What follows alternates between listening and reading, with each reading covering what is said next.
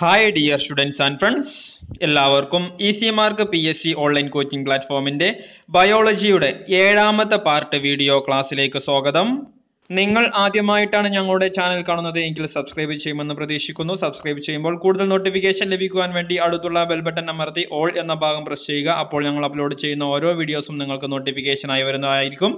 നിങ്ങൾക്ക് ക്ലാസ്സുകൾ ഉപകാരപ്രദമാകുന്നു എങ്കിൽ ലൈക്ക് ചെയ്യുക. നിങ്ങളുടെ ഫ്രണ്ട്സിന് വേണ്ടി ഷെയർ ചെയ്ത് കൊടുക്കാം. നിങ്ങളുടെ വിലയേറിയ അഭിപ്രായങ്ങളും നിർദ്ദേശങ്ങളും കമന്റ് ബോക്സിൽ നിക്ഷേപിക്കാം. Okay dear students and friends ഇന്ന് നിങ്ങൾക്ക് ഈ വീഡിയോയിലൂടെ easy mark P S C online coaching platform ബയോളജിയിലെ ചില ഭാഗങ്ങളുമായിട്ടാണ് വന്നുള്ളത്. ബയോളജിയുടെ ഏഴാമത്തെ പാർട്ട് വീഡിയോ ആണിത്. ഇതിന്റെ മുമ്പത്തെ ക്ലാസ്സുകൾ നിങ്ങൾ കണ്ടിട്ടില്ല എങ്കിൽ ഡിസ്ക്രിപ്ഷൻ ബോക്സിൽ അതിന്റെ ലിങ്കുകളുണ്ട് നിങ്ങൾക്ക് എടുത്ത് കാണാം. ബയോളജിയിൽ ഇന്ന് നമ്മൾ ചർച്ച ചെയ്യുന്നത് പരാഗണവും അതുപോലെ തന്നെ സസ്യങ്ങളുടെ ചലനവുമായി ബന്ധപ്പെട്ട ഭാഗങ്ങളാണ് നമ്മൾ ചർച്ച ചെയ്യുന്നത്. സസ്യചലനവും പരാഗണവുമാണ് നമ്മൾ ചർച്ച ചെയ്യുന്നത്. നമുക്ക് നേരെ ക്ലാസ്സിലേക്ക് പോവാം. ആദ്യം എന്താണ് പരാഗണം എന്ന് നോക്കാം. പരാഗരേണുക്കൾ കേസരങ്ങളിൽ നിന്ന് പൂവിന്റെ പരാഗണ സ്ഥലത്തേക്ക് മാറ്റുന്ന പ്രവർത്തനമാണ് പരാഗണം. എന്താണ്? പരാഗരേണുക്കൾ കേസരങ്ങളിൽ നിന്ന് പൂവിന്റെ പരാഗണ സ്ഥലത്തേക്ക് മാറ്റുന്ന പ്രവർത്തനമാണ് പരാഗണം. എന്താണ് പരാഗണം എന്നുള്ള ഭാഗം ഇതുവരെ ചോദിച്ചിട്ടില്ല. നമ്മൾ ജസ്റ്റ് ഒന്ന് മനസ്സിലാക്കി വെച്ചാൽ മതി. നമുക്ക് എന്ത് ചെയ്യാം ഇതുമായി ബന്ധപ്പെട്ട് ചോദിക്കുന്ന ചില ഭാഗങ്ങളുണ്ട്. അത് നമുക്ക് നോക്കാം. ഓക്കെ നമുക്ക് ഒന്നാമത്തെ പോയിന്റ് നോക്കാം. ഒരു പുഷ്പത്തിന്റെ പരാഗരേണുക്കൾ അതിന്റെ തന്നെ പരാഗണ സ്ഥലത്ത് പതിക്കുന്നത് സ്വപരാഗണം. നമ്മൾ ചെറിയ ക്ലാസ്സിൽ പഠിച്ച ഭാഗമാണത്. ഒരു പുഷ്പത്തിന്റെ പരാഗരേണുക്കൾ അതിന്റെ തന്നെ പരാഗണ സ്ഥലത്ത് പതിക്കുന്നത് സ്വപരാഗണം എന്ന് പറയുന്നു. ഒരു പൂവിന്റെ പരാഗരേണുക്കൾ മറ്റൊരു പൂവിൽ പതിക്കുന്നത് പരപരാഗണമാണ്. എന്താണ് പരപരാഗണം? ഒരു പൂവിന്റെ പരാഗരേണുക്കൾ മറ്റൊന്നിൽ പതിക്കുന്നത് പരപരാഗണമാണ്. എന്നാൽ അടുത്ത് നോക്കാം എന്താണ്? സീനോഗമി നോക്കാം. ഒരേ വർഗത്തിൽപ്പെട്ട രണ്ട് വ്യത്യസ്ത സസ്യങ്ങളുടെ പുഷ്പങ്ങൾ തമ്മിൽ പരാഗണം നടത്തുന്നത് സീനോഗമിയാണ് അല്ലെ ഒരേ വർഗത്തിൽപ്പെട്ട രണ്ട് സസ്യങ്ങളുടെ പുഷ്പങ്ങളുടെ പരാഗണമാണ് എവിടെ നടക്കുന്നത്? സീനോഗമിൽ നടക്കുന്നത്. എന്നാൽ നമ്മൾ പറഞ്ഞത് എന്താണ്? സ്വപരാഗണം. ഒരു പൂവിന്റെ തന്നെ എന്താണ് പരാഗരേണുക്കൾ അതിന്റെ പരാഗണ സ്ഥലത്ത് പതിക്കുന്നത്. എന്നാൽ ഒരു പൂവിന്റെ പരാഗരേണു മറ്റൊന്നിൽ പതിക്കുന്നത് എന്താണ്? അത് പരപരാഗണമാണ്. ഓക്കെ? ഒരു സസ്യത്തിലെ രണ്ട് പുഷ്പങ്ങൾ തമ്മിലുള്ള പരാഗണം അറിയപ്പെടുന്നത് ഗൈറ്റനോഗമി എന്നുള്ളതാണ്. എന്താണ് ഗൈറ്റനോഗമി? ഒരു സസ്യത്തിലെ രണ്ട് പുഷ്പങ്ങൾ തമ്മിലുള്ള പരാഗണം. ഒരു സസ്യത്തിലെ രണ്ട് പുഷ്പങ്ങൾ തമ്മിലുള്ള പരാഗണം അറിയപ്പെടുന്ന പേരെന്താണ്? ഗൈറ്റനോഗമി എന്നുള്ളതാണ്. ജന്തുക്കൾ വഴിയുള്ള പരാഗണമാണ് സൂഫിലി. എന്താണ് സൂഫിലി? ജന്തുക്കൾ വഴിയുള്ള പരാഗണമാണ് സൂഫിലി. മനസ്സിലാക്കി വെക്കുക. ജന്തുക്കൾ വഴിയുള്ള പരാഗണം അറിയപ്പെടുന്നത് സൂഫിലി എന്ന പേരിലാണ്. കാറ്റ് വഴിയുള്ള പരാഗണം അറിയപ്പെടുന്നത് അനിമോഫിലി എന്ന പേരിലാണ് അല്ലെ? കാറ്റിനെ കുറിച്ചുള്ള പഠനം നമുക്കറിയാം അല്ലെ? അനിമോളജി എന്നൊക്കെയുള്ളതാണ്. അപ്പോൾ കാറ്റിനെ കാറ്റ് വഴിയുള്ള പരാഗണം അറിയപ്പെടുന്നത് അനിമോഫിലി എന്നുള്ളതാണ്. മനസ്സിലാക്കി വെക്കുക. അനിമോഫിലിക്ക് ഉദാഹരണങ്ങൾ ചോദിക്കാറുണ്ട്. മുരിങ്ങ എരുക്ക് ഒക്കെ എന്തിനു ഉദാഹരണമാണ്? കാറ്റ് വഴിയാണ് എന്ത് നടത്താറുള്ളത്? പരാഗണം നടത്താറുള്ളത്. മനസ്സിലാക്കി വെച്ചാൽ മതി. നെക്സ്റ്റ് ജലം വഴിയുള്ള പരാഗണം അറിയപ്പെടുന്ന പേരാണ് ഹൈഡ്രോഫിലി. അല്ലെ? ഹൈഡ്രോ എന്ന് പറഞ്ഞാൽ നമുക്കറിയാം ജലമാണെന്ന് നമുക്കറിയാം. അപ്പോൾ ജലം വഴിയുള്ള പരാഗണമാണ് ഹൈഡ്രോഫിലി. ഹൈഡ്രോ എന്നൊക്കെ പറഞ്ഞു കഴിഞ്ഞാൽ ജലവുമായി ബന്ധപ്പെട്ട വേർഡുകളാണല്ലോ. അപ്പോൾ നമ്മൾ ജസ്റ്റ് മനസ്സിലാക്കി വെച്ചാൽ മതി. ജലം വഴിയുള്ള പരാഗണം ഹൈഡ്രോഫിലിയാണ്.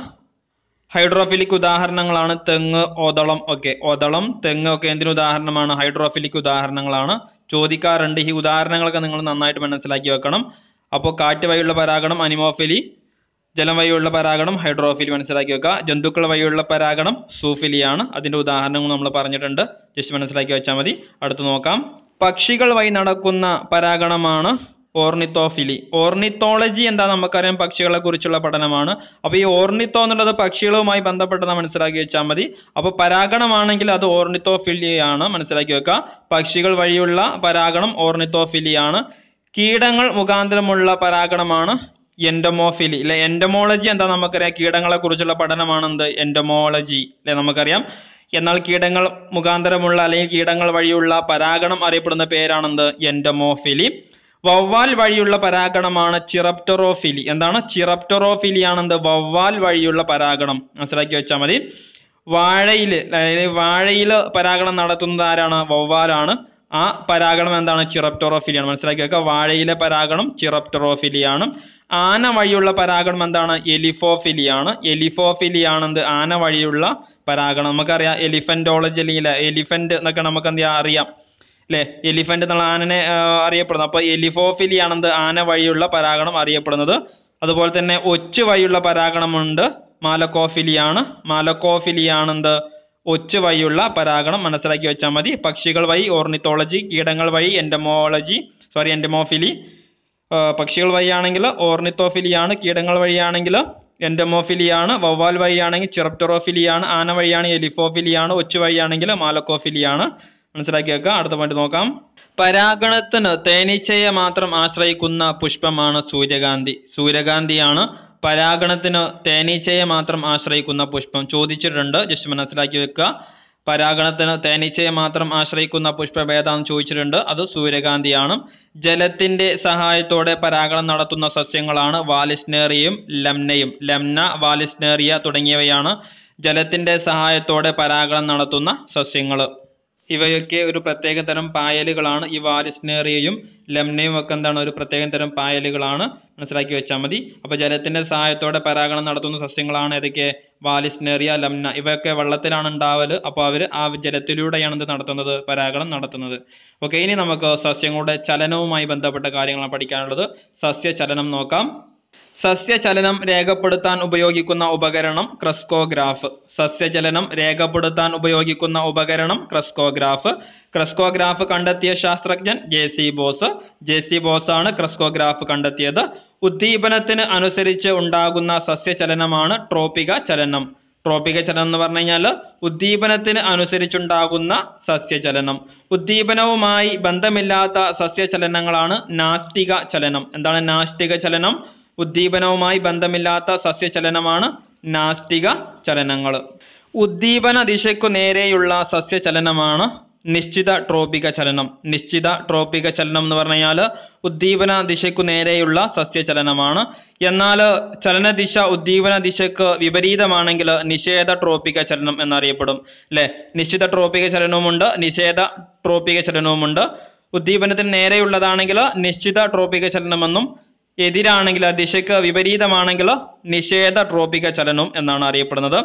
പ്രകാശം എന്ന ഉദ്ദീപനത്തിന് അനുസരിച്ചുള്ള സസ്യചലനമാണ് ഫോട്ടോട്രോപ്പിസം. എന്താണ് ഫോട്ടോട്രോപ്പിസം? പ്രകാശത്തിനു നേരെ വളരുന്ന സസ്യങ്ങളെ അറിയപ്പെടുന്ന പേരാണെന്ത്?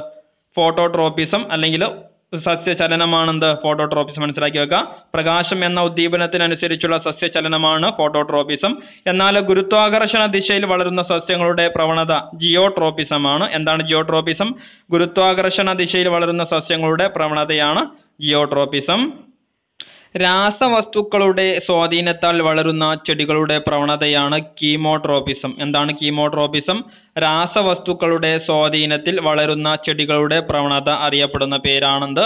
കീമോട്രോപിസം അന്യവസ്തുക്കളുടെ സമ്പർക്കത്തിൽ ഉണ്ടാകുന്ന ചലനമാണ് തിഗ്മോട്രോപിസം എന്താണ് തിഗ്മോട്രോപിസം അന്യവസ്തുക്കളുടെ സമ്പർക്കത്തിൽ ഉണ്ടാകുന്ന ചലനമാണ് തിഗ്മോട്രോപിസം സ്പർശനങ്ങളോട് പ്രതികരിക്കാനുള്ള ചെടികളുടെ പ്രവണതയാണ് സീസ്മോനാസ്റ്റിക് ചലനങ്ങൾ. എന്താണ് സീസ്മോനാസ്റ്റിക് ചലനങ്ങൾ?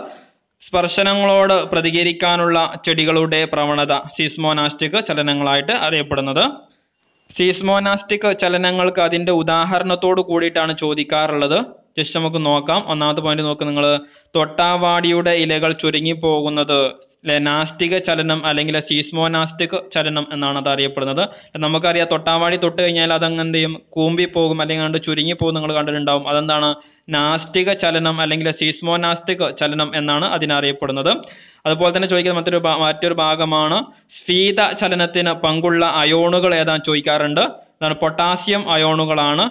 പൊട്ടാസ്യം അയോണുകളാണ് സ്ഫീത ചലനത്തിന് പങ്കുള്ള അയോണുകൾ. മനസ്സിലാക്കി വെക്കുക okay. Dear students and friends നിങ്ങൾക്ക് ക്ലാസ്സുകൾ ഉപകാരപ്രദമാകുന്നു എങ്കിൽ ലൈക്ക് ചെയ്യുമെന്ന് പ്രതീക്ഷിക്കുന്നു. നിങ്ങളുടെ ഫ്രണ്ട്സിന് വേണ്ടി ഷെയർ ചെയ്ത് കൊടുക്കുമെന്ന് പ്രതീക്ഷിക്കുന്നു. നിങ്ങൾ ആദ്യമായിട്ടാണ് ഈ ചാനൽ കാണുന്നത് എങ്കിൽ സബ്സ്ക്രൈബ് ചെയ്യുമെന്ന് പ്രതീക്ഷിക്കുന്നു. സബ്സ്ക്രൈബ് ചെയ്യുമ്പോൾ കൂടുതൽ നോട്ടിഫിക്കേഷൻ ലഭിക്കുവാൻ വേണ്ടി അടുത്തുള്ള ബെൽ ബട്ടൺ അമർത്തി ഓൾ എന്ന ഭാഗം പ്രസ് ചെയ്യുക. അപ്പോൾ ഞങ്ങൾ അപ്ലോഡ് ചെയ്യുന്ന ഓരോ വീഡിയോസും നിങ്ങൾക്ക് നോട്ടിഫിക്കേഷനായി വരുന്നതായിരിക്കും. നിങ്ങളുടെ വിലയേറിയ അഭിപ്രായങ്ങളും നിർദ്ദേശങ്ങളും കമന്റ് ബോക്സിൽ നിക്ഷേപിക്കാം. Okay thank for your watching